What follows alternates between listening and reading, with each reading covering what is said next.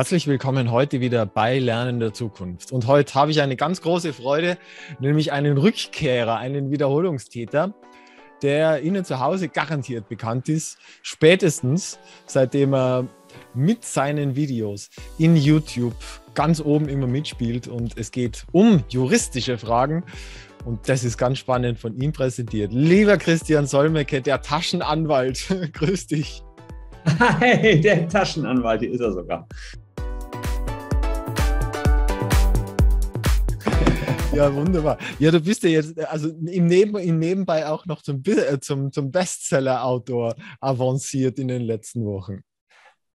Ja, danke. Also tatsächlich äh, Platz zwei in der Spiegel-Bestsellerliste eingestiegen. Das war ein, ein, Hammer.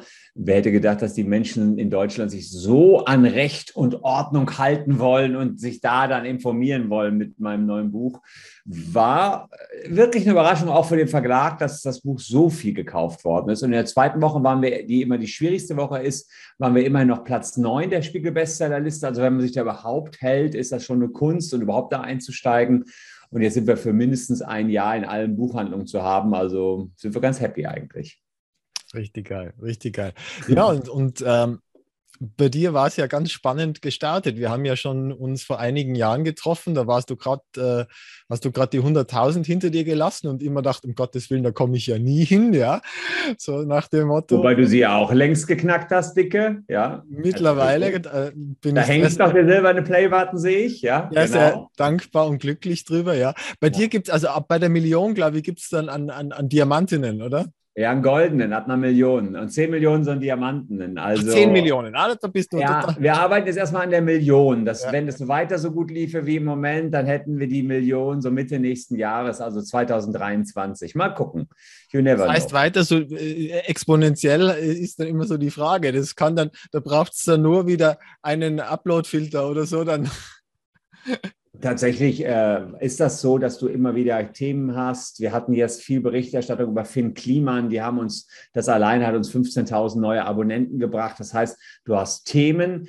Diese Themen behandelst du in der Tiefe, vielleicht auch aus einem Winkel, wie andere YouTuber diese Themen nicht behandeln. Naja, und dann hast du auch wieder Abonnenten. Abonnenten sind schön, sind aber ähm, ja auch Schall und Rauch. Sie sind das eine, sind so ein bisschen eine Messlatte für Erfolg für mich jetzt persönlich. Ähm, aber viel schöner ist das Feedback, was ich in Kommentaren bekomme, was ich über E-Mails bekomme. Das ist das, was dann wirklich zählt. Wie engagiert sind die Leute auch? Und da bin ich ganz stolz drauf. Die sind alle sehr engagiert, die da meine Videos gucken, ja. Ja, ich bin ja auch Teil der Discord-Community, also insofern weiß ich, dass da wirklich sehr, auch sehr, sehr im Feld seiende Leute, also da sind ja wirklich Juristen mit drunter oder zumindest welche, die sich dafür halten, ja. Äh, tatsächlich, wir haben so eine Hilf dir selbst äh, Discord-Community und da haben wir im letzten Jahr, ich meine, 4000 Anfragen beantwortet von Leuten, die selber ein Rechtsproblem haben und dann sind da eben juristische Gelehrte, die sagen, hier, das müsste die Lösung sein. Lies mal danach, mach es so, finde ich eigentlich ganz gut. Man würde so denken, wie wahnsinnig sind die Anwälte denn? Die machen sich ja komplett überflüssig, wenn, da, wenn die ein Forum schaffen, wo es Hilfe zur Selbsthilfe gibt. Aber das stimmt nicht, denn letztlich, wenn es richtig knifflig wird, sind wir dann oft auch die erste Anlaufstelle, wenn man ein echtes Mandat hat. Und die kleineren Sachen bei einer Abo-Falle oder so, habe ich auch gar nichts dagegen, dass die Tipps von außen bekommen, wie man sich da helfen kann. Mhm. Ja, ich würde jetzt gerne mal also zweischrittig vorgehen. Einmal würde ich äh, ein bisschen was zu deiner Geschichte hören, wie du jetzt dahin gekommen bist an den Punkt und dann schauen einmal, äh, weil ich ja von dir weiß, dass du mega selbst organisiert bist und das ja für unsere, für meine Zuschauer auch ein großes Thema ist, da ein bisschen die Produktivität zu steigern und aus den äh, vielleicht 60 Stunden Wochen äh, da äh, was ein bisschen runter zu kürzen, ja. Ja.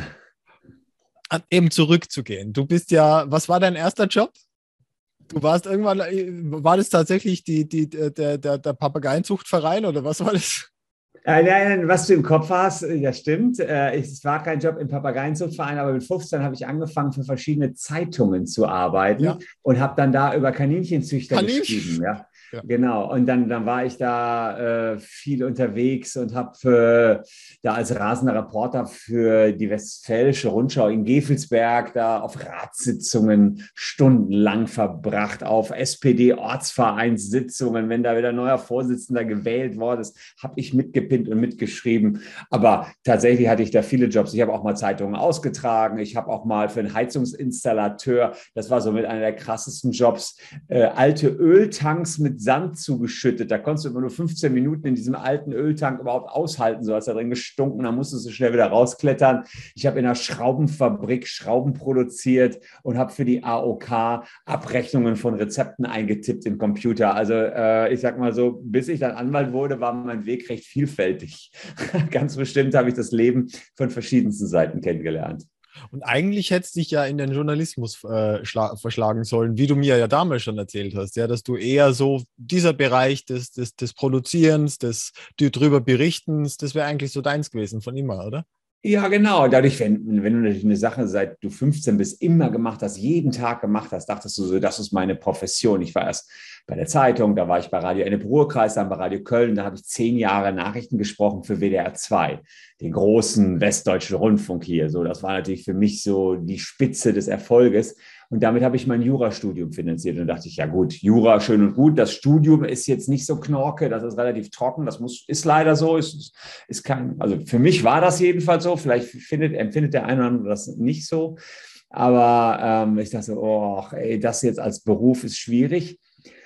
Und dann kam es so, dass ich so viel Journalismus gemacht habe, dass ich dachte, da kennst du natürlich auch einiges. Jetzt willst du auch mal als Anwalt arbeiten. Jetzt hast du das gelernt. Also interessiert hat es mich natürlich schon. Und das Referendariat ist ja wesentlich pragmatischer und praktischer als jetzt nur das Studium, hat mich auch nochmal so ein bisschen dahin gebracht. Ja, und da bin ich jetzt hängen geblieben die letzten 16 Jahre und habe mittlerweile ja eine Mixtur geschaffen aus beiden. Du hast den YouTube-Kanal schon angesprochen, wir haben jetzt 850.000 Follower da.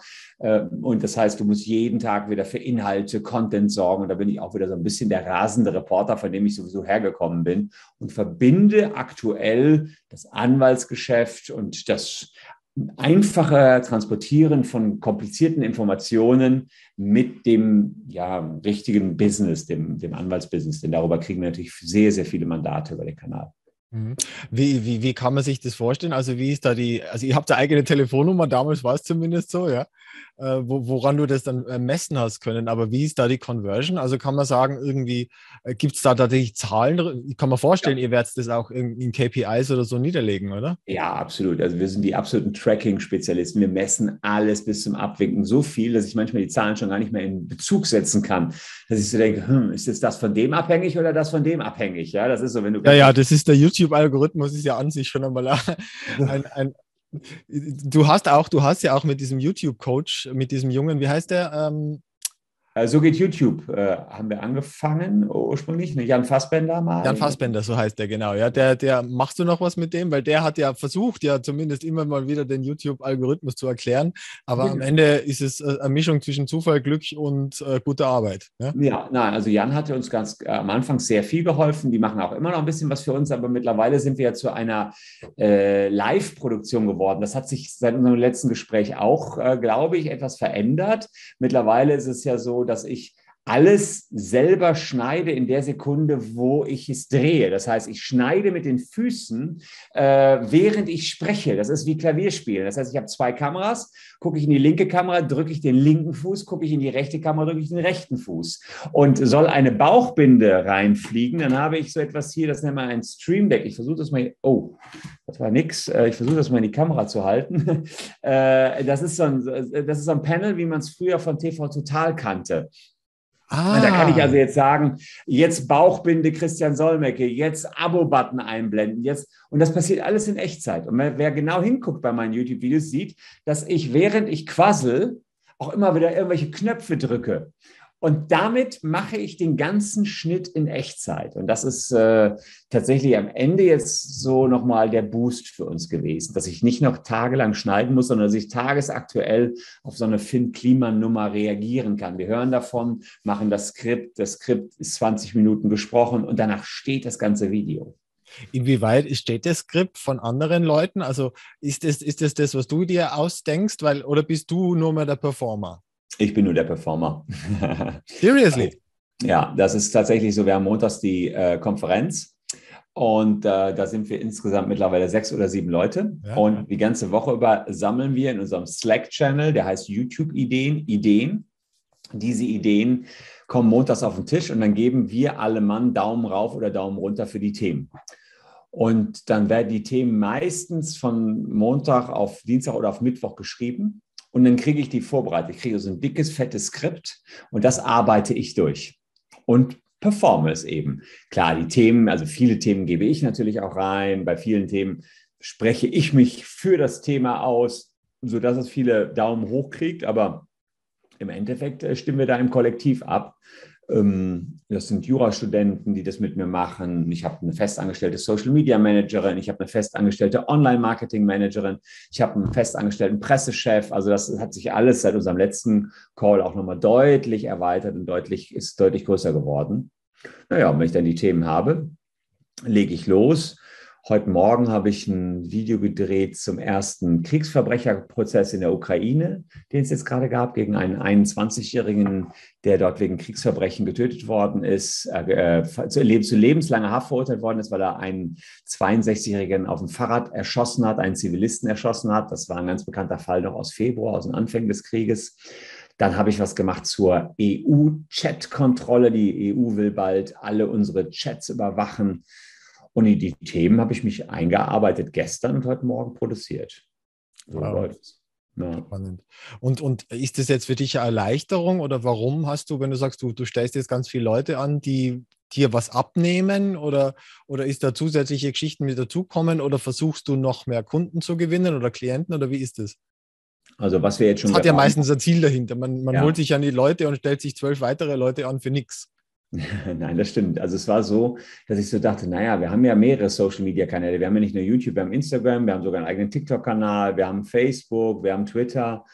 Und das läuft alles nur nebenbei. Wir haben immer unsere Konzentration auf YouTube gehabt. So, und dann habe ich gesagt, okay, das geht doch eigentlich nicht, dass ich das immer so ein bisschen nebenbei mache. Eigentlich ist das unprofessionell. Wir brauchen jetzt jemanden, der nur alles unserer Social-Media-Welten im Blick hält. Und siehe da, kaum war die Maike da, gehen auch die anderen Kanäle relativ steil ab. Also wir haben so 300, 400 neue Abonnenten bei Instagram, aber auf unserem Kanzleikanal, was ja schon wirklich beachtlich ist, denn wer wer liked schon eine Kanzlei? Ja. Äh, naja, der, der, der YouTube-Kanal heißt ja auch so. Also der heißt, heißt ja auch so, du hast vollkommen recht. Also insofern, das ist sicherlich ungewöhnlich, aber äh, das, ähm, also das macht Maike und Shannon ist zuständig für unser Online-Marketing, denn natürlich machen wir nicht nur etwas über Social Media, kriegen nicht nur Mandanten über Social Media, sondern schalten auch gezielt Werbung. Dafür ah. hatten wir bislang immer Agenturen, die das gemacht haben, aber ich wollte das Wissen in-house haben und habe gesagt, okay, ich brauche jetzt erstmal eine Schnittstelle zu den Agenturen und sie lernen von den Agenturen.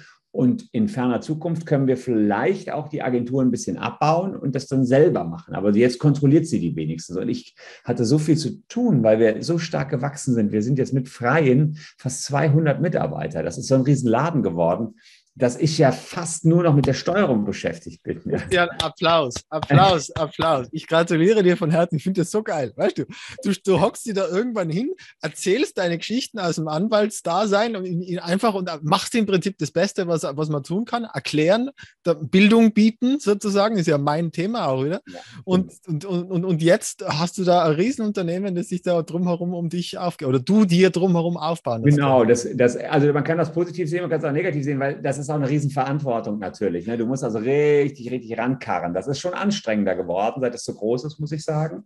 Aber ich habe junge, neue Geschäftspartner auch gefunden, die hinten nachgewachsen sind. Raffaela Wilde ist mittlerweile mit 67 ausgeschieden. Das war auch immer klar. Sie wollte mit 67 in Rente gehen. Das heißt, eine der Kanzleigründerinnen, die auch immer noch so eine Säule war, war da. Michael Beuger scheidet auch in drei bis vier Jahren aus. Dann bin ich der Oldie dort. Das heißt, wir bauen jetzt schon unten drunter den Nachwuchs, damit ich nicht äh, alles alleine machen muss. Das, der Umbau erfolgt gerade. Wir ziehen auch jetzt in neue Räume in, in einem Jahr, aber so viel Vorlauf braucht es auch. Werden moderner nochmal, haben dann ein eigenes Fitnessstudio, wo die Menschen trainieren können wollen. Wann, wann wird es stattfinden?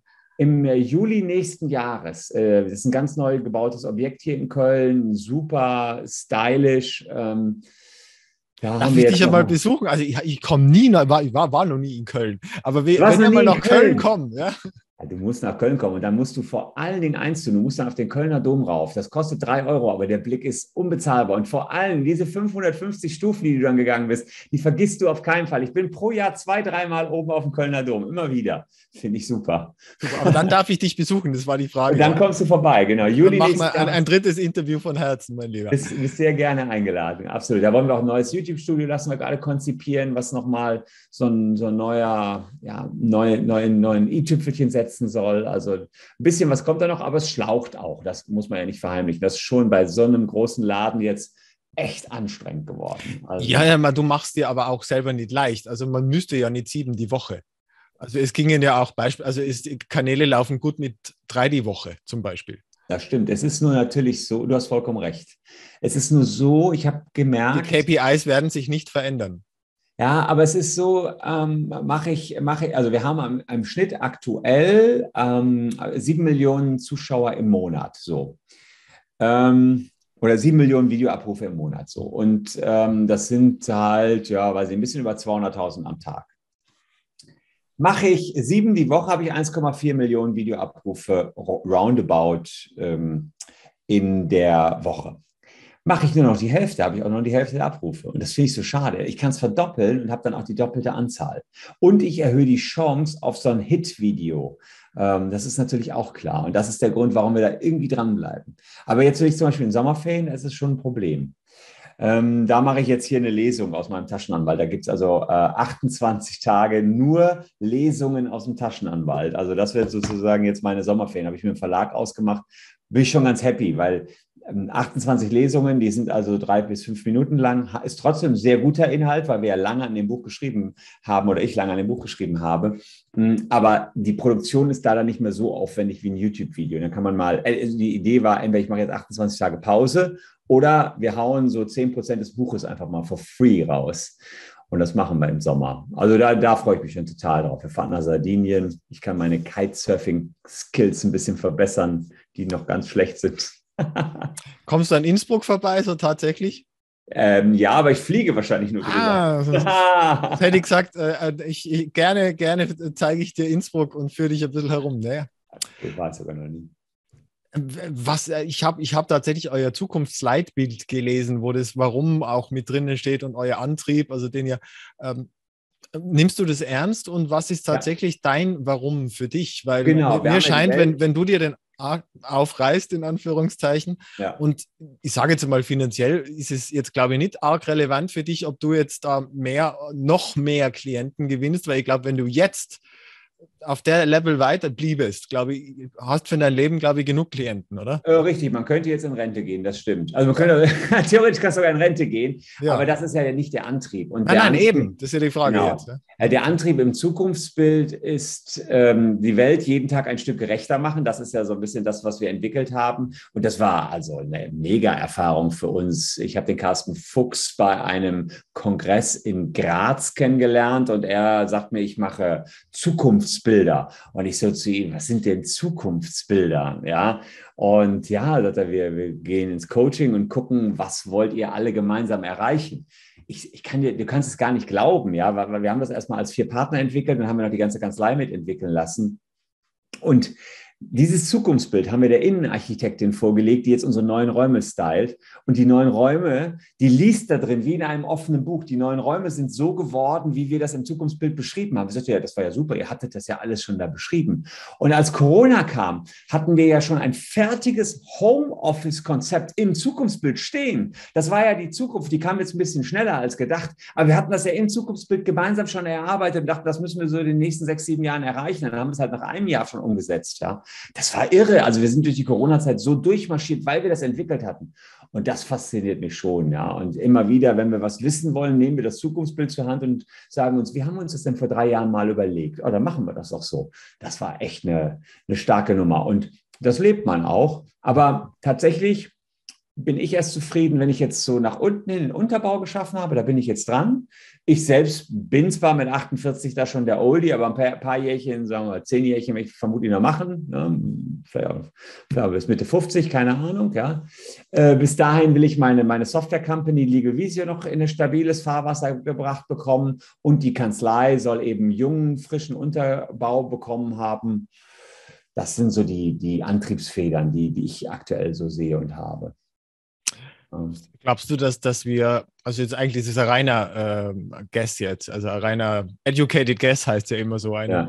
eine Annahme von einem, der ein bisschen Ahnung hat, ähm, dass, dass, dass du irgendwann gar nicht mehr gebraucht wirst, sondern das tatsächlich ein Avatar mit Christian macht? Weil ich meine, Deepfakes gibt es ja heute schon und in zehn Jahren, ich meine, mit der Rechenfähigkeit, ich glaube, da kann sich jeder hinsetzen und kriegt einen Kopf aufgesetzt. Also was meinen YouTube-Kanal betrifft, kann ich mir das schon vorstellen, dass ja. da Leutchen, ähm, du siehst ja auch, gestern habe ich so eine Apple TV Plus Animation gesehen, die Welt vor 66 Millionen Jahren. Und da haben die im Video, denkst du, du würdest die Dinosaurier sehen. Das ist ja so wahnsinnig, ja. Also das kann ich mir schon vorstellen äh, ob ein Avatar dann auch so die äh, wahnwitzigsten Spontaneinfälle hat, die ich so während eines YouTube-Videos manchmal habe, ob diese ja, Stück weit auch Kreativität dann von Avataren übernommen wird, da bin ich, wäre ich mal gespannt und ob das dann noch genauso rüberkommt, ja. Aber vielleicht gucken dann ja auch nur noch Avatare. Ja? Und wir Menschen liegen in der Sonne und dann ist ja auch wieder egal, ja. Let's hope, let's hope. Ja, also ja. Ich, ich bin auch kein Freund äh, der, der reinen Roboti Roboterisierung oder wie auch immer das sich dann schimpfen mag. Mein lieber Christian, ähm, ich möchte mich für den ersten Teil bei dir bedanken. Empfehle jedem zu Hause unbedingt sich diesen dieses Werkes anzunehmen. Da noch ist auch noch mit ein paar Kilo mehr und da werden wir im zweiten Teil eben auch noch drauf eingehen. 30, 30 Kilo mehr noch. Aber das, Warum äh, heute ein erschlankter Christian Solmecke vor mir sitzt und wie du dir deinen Alltag, der dann eigentlich schon sehr stressig sein müsste, aber offenbar nicht ist, gestaltest. Bis zum zweiten Teil. Danke dir. Danke dir. Willst du das laufen lassen oder machen wir zwei draus? Machen wir, machen wir zwei draus, ist besser. Mal gucken. Dann ist einfacher.